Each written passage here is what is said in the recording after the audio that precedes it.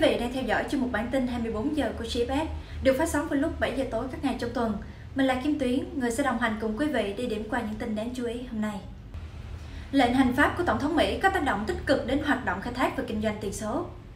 Giám đốc một công ty đầu tư crypto tiếp tục khẳng định Bitcoin vẫn đang trên đà vươn tới mốc 100.000 đô la vào năm 2023.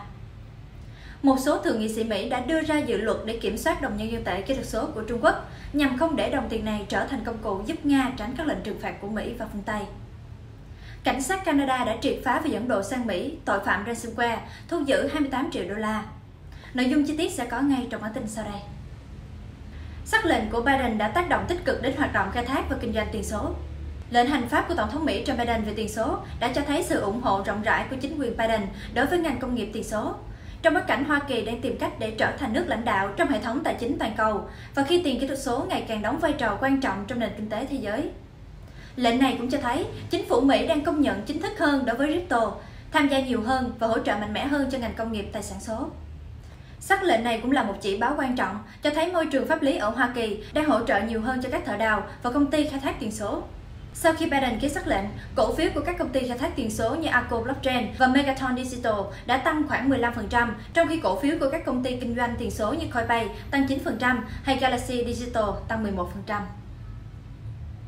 Tin tức tiếp theo trong bản tin hôm nay, Bitcoin vẫn đang trên đà đạt 100.000 đô la vào năm 2023. Giám đốc điều hành của Bitcoin Capital là Johnny Badwale cho rằng Bitcoin vẫn đang trên đà đạt 100.000 đô la vào năm 2023. Mặc dù tâm lý giảm giá bắt đầu thống trị thị trường từ đầu năm nay, những mức giảm giá thấp hơn và thấp hơn nữa có thể sẽ tiếp tục diễn ra, nhưng năm 2023 sẽ là một năm an toàn, còn năm 2022 chỉ là năm để tích lũy.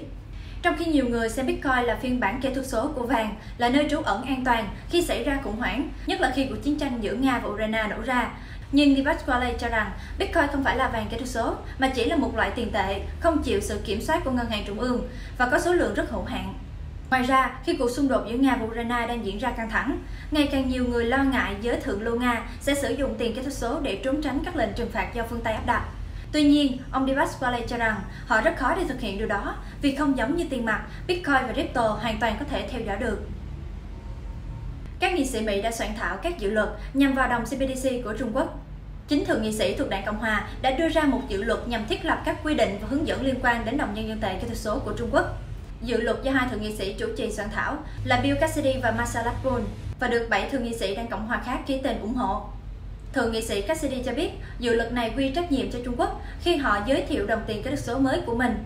Nếu không được kiểm soát các công nghệ của Trung Quốc, trong đó có đồng nhân dân tệ kỹ thuật số, sẽ trở thành công cụ để Nga trốn tránh các lệnh trừng phạt của Mỹ và các nước phương Tây đang áp dụng với Nga. Dự luật sẽ yêu cầu Bộ Ngoại giao đưa ra cảnh báo về đồng nhân dân tệ kỹ thuật số và yêu cầu Bộ trưởng Thương mại báo cáo về các hành động thực thi thương mại. Đồng thời yêu cầu các chính phủ nước ngoài nhận hỗ trợ tài chính từ quân đội Mỹ cần khai báo khi họ sử dụng tiền tệ kỹ thuật số của Ngân hàng Trung ương Trung Quốc trong thanh toán hoặc dự trữ tiền tệ. Tin tức sau cùng của bản tin hôm nay, cảnh sát Canada bắt giữ tội phạm ransomware, thu giữ 28 triệu đô la.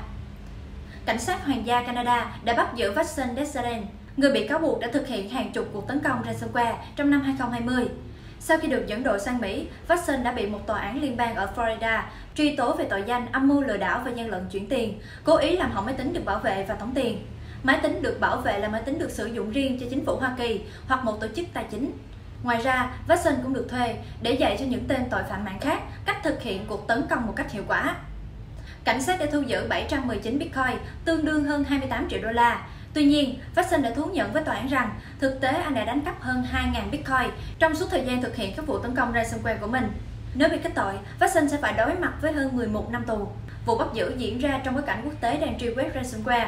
Vào tháng 11 năm 2021, Tổng thống Mỹ Joe Biden cam kết sẽ dành toàn bộ sức mạnh của chính phủ liên bang để ngăn chặn các hoạt động mạng độc hại. Và kể từ đó, một số hoạt động ransomware quy mô lớn đã bị truy quét, trong đó có các nhóm có trụ sở tại Nga.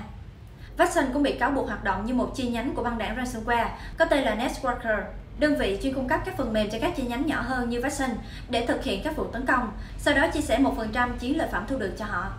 Phần mềm tổng tiền do Networker sản xuất thường được sử dụng để tấn công vào các bệnh viện, dịch vụ khẩn cấp và các công ty khác trong lĩnh vực chăm sóc sức khỏe trong thời kỳ cao điểm của đại dịch Covid-19. Cảm ơn quý vị và các bạn đã quan tâm và theo dõi những thông tin của GFS. Hãy like, share và subscribe kênh để nhận được những thông tin mới nhất. Xin chào và hẹn gặp lại.